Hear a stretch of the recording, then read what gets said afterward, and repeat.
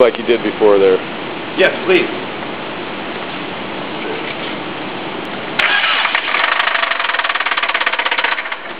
That's enough.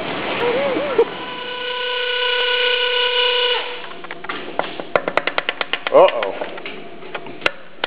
Yes. Definitely.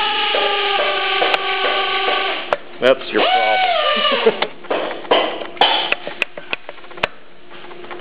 There's no bearing left in there.